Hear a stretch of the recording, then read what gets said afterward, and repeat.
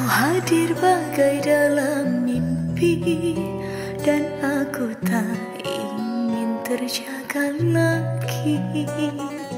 Berangkai kisah seorang putri Yang jatuh cinta pada sang pangeran.